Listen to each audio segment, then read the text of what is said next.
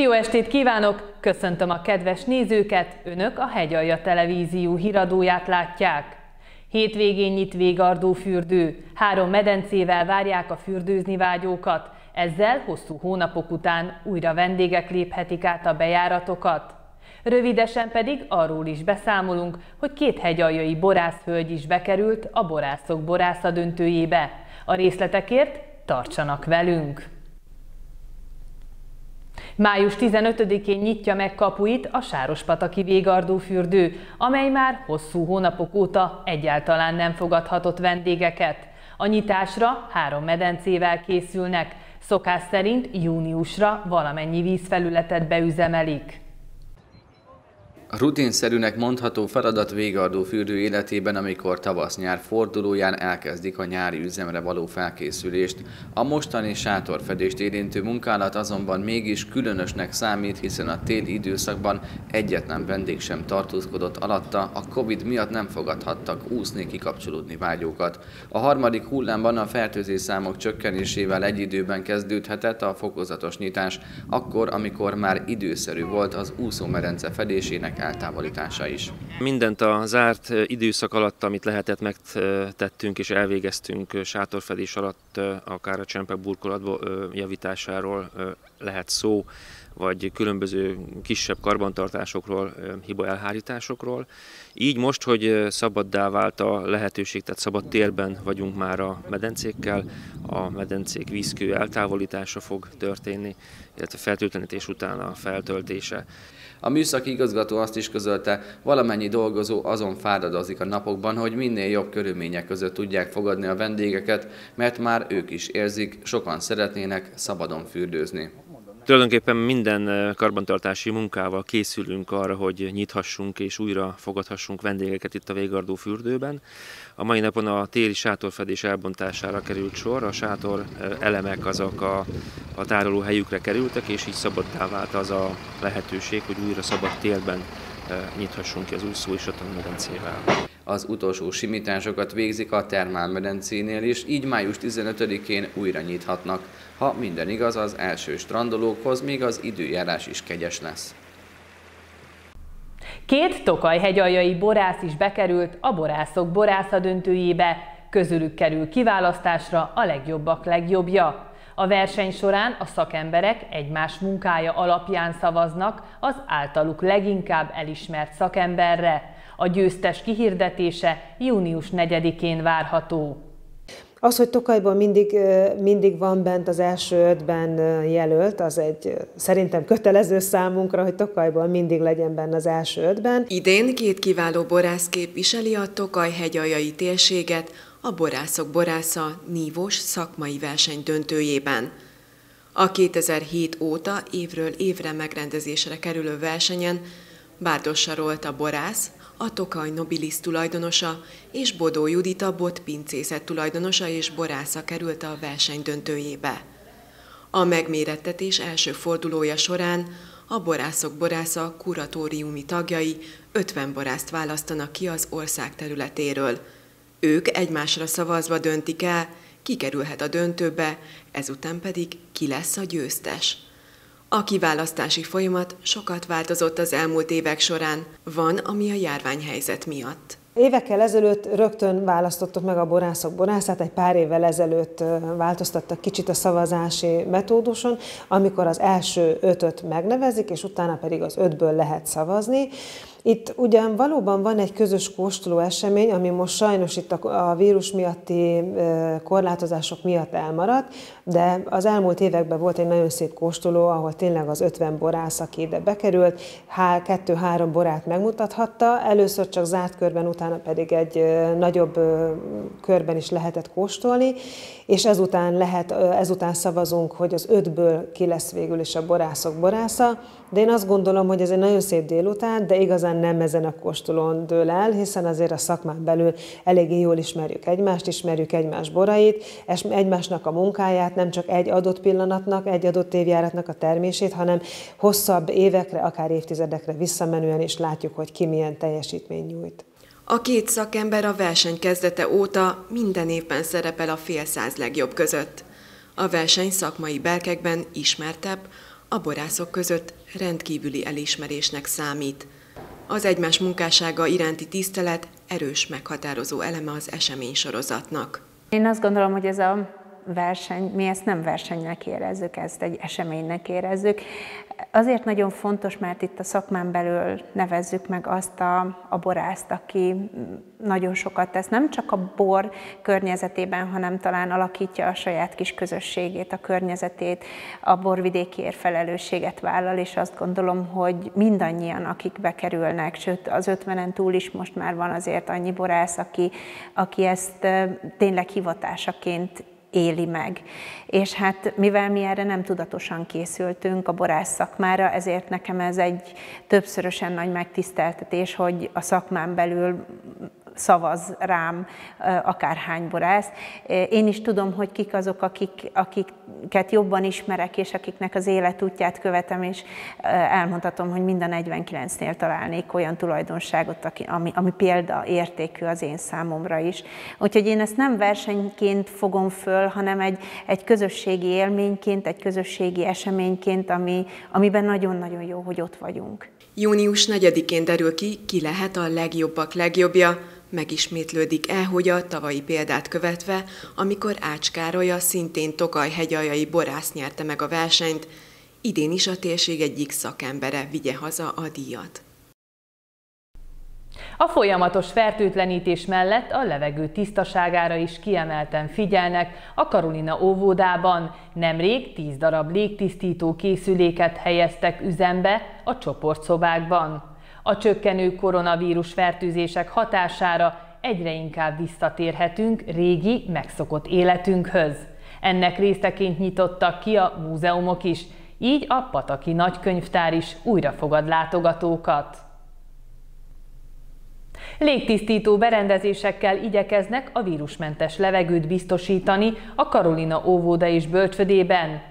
A csoportszobákban elhelyezett készülékek csendesek, hatékonyan dolgoznak, és segítenek abban is, hogy a felnőttek is minél inkább elkerüljék a vírusfertőzést, azzal együtt, hogy a dolgozók közel 100%-a rendelkezik védőoltással. Kicsit és nagyot egyaránt véd a légtisztító. A Covid járványban a pedagógusokat sem kímélte a vírus számukra is fontos egészségbiztonsági lehetőség az, hogy közel egy tucat légtisztító berendezést vásárolt a Karolina óvoda és bölcsede. Így ugyanis nem csak szellőztetéssel tudják biztosítani a friss levegőt. Az intézmény vezető elmondta, létszámuk sokat változik, és nem csak a koronavírus betegsége miatt egyéb szezonális hatások is jelentkeznek. Viszont a vírus miatt döntöttek úgy, hogy hogy még nagyobb figyelmet szentelnek a tiszta levegőre. Rengeteget fertőtlenítünk, a készfertőtlenítés, a mosdók tisztán tartása, vagy fertőtlenítése mindennapi, szinte óránkénti feladatunk, és hát az is egy nagy öröm, amikor a pedagógusok oltási programja elindult, hogy az intézményben dolgozóknak szinte 98%-a beoltatta magát, tehát védve, készülve, felkészülve, és hát a, a betegséget megelőzve igyekszünk a mindennapjainkat itt tölteni és megélni, és hát ennek egyik eleme, amikor bevásároltunk, illetve felkészültünk arra, hogy a visszatérő nagy létszámok, hisz április 19-én megnyíltak az óvodák, és a mi intézményünk is egy nagy létszámú gyermekcsoportot fogadhatott, hiszen az ügyelet után, amikor 80-an voltak a gyerekek, április 19-ét követően 200-an vagyunk az intézményben, 200 óvodás és 36 bölcsödés. Ez egy nagyon nagy feladat az ő épségükre is és egészségükre vigyázni, és pont ezért nagyon nagy dolog a felnőttek oltása, és egy olyan közeg és, kö- és környezet biztosítása, amiben viszonylag biztonságban vannak a kisgyermekek is. Minden csoport szobába jutott a légtisztítóból 10 darabot vásároltak, értékük meghaladja 200 ezer forintot. A modern eszközök már jócskán túl vannak a próbán, hatékonynak bizonyulnak, mondja az intézményvezető. Ez egy esztétikus, szép kis eszköz, aminek az a szerepe, hogy a csoport levegőjét, amit ugye használ több mint 20 gyerek, a csoportszobába és a felnőttek is, tehát a levegőt tisztítsa, a baktériumok és vírusok ellen szűri a levegőt, tehát egy olyan tiszta környezetet és levegőt biztosít az ott lévő gyerekeknek, amiben bízunk benne, hogy kevésbé fertőződnek meg. Úgy gondoltuk, hogy minden csoportszobában legyen ilyen, mert hogy, hogy meg tudtuk oldani az intézmény költségvetéséből, és használjuk naponta 10-12 órát mehet ez a készülék, tehát amikor a gyerekek bent tartózkodnak, akkor egy viszonylag tiszta levegőjű csoportszobában vannak. Az óvoda vezetője hozzátette természetesen az időjárástól függően sokat vannak a gyerekek a szabad levegőn is, de amikor visszatérnek az épületbe, friss és vírusmentes levegő várja őket a csoportszobákban. Újra fogadja a látogatókat a Sárospataki Református Kollégium tudományos gyűjteményeinek nagykönyvtára. A gyűjteményi igazgató szerint, bár online is igyekeztek megmutatni magukat, igazából a személyes látogatás által élhető és érezhető az a kulturális kincs, amelyet az évszázadok során felkutattak és láthatóvá tettek a nagykönyvtárban. Újra látogatható a nagy közönség számára a Sárospataki Református Kollégium tudományos gyűjteményeinek nagy könyvtára. A könyvtár történelmi, szellemi és tudományos szempontból is meghatározó intézménye a város, és nem túlzás Magyarország kulturális életének. Keletkezése egybeesik az iskola megalakulásának évével. Az első katalógus, amely már konkrétan felsorolja a gyűjteményben megtalálható műveket, 1623-ból való. Ettől a héttől kezdve kutatókat is fogadunk, és eh, látogatókat is. Természetesen mi is kötve vagyunk azokhoz a szabályokhoz, amelyeket előírtak számunkra. Tehát jó, ha tájékozódnak a látogatók, hogy csak eh, védettségi kártyával lehet belépni, illetve a kutatók is csak védettségi kártyával vehetik igénybe a szolgáltatásainkat. Az elmúlt nyár tapasztalatai azt mutatják, hogy megváltozott annak a közösségnek az összetétele, akik a nagykönyvtárat látogatták, mondta dr. DNS Dénes. Sokkal inkább kisebb közösségek, családok, eh, ha szervezett közösség is látogat bennünket, az már például nem iskolai csoport. Reméljük, hogy visszatér az az idő, amikor újra megjelennek itt a diákok nagy számban, de hát most érthető módon iskolai kirándulásokat nem szerveznek, és majd a közeljövőben, vagy a középtávon nyilván el fog dőlni az is, hogy, hogy az ifjúság oltakozása hogyan folyik, és akkor esetleg azok a feltételek maradnak a látogatás tekintetében, amelyek most érvényesek, vagy ezen is változtatnak, könnyebbítenek. Ezt mi nem tudjuk, és erre nézve nekünk nincs is semmiféle olyan fajta lehetőségünk, hogy ezt mi befolyásolnánk. Kénytelenek vagyunk ragaszkodni a vírus adta lehetőségekhez. A járványhelyzet nem tette lehetővé a személyes kapcsolattartást a látogatókkal, így igyekeztek a digitális térben is eljutni minden érdeklődőhöz. A gyűjteményi igazgató beszélt stábunknak a jelenlegi és jövőbeli terveikről is, melyek során számos érdekes eseményről kívánnak megemlékezni.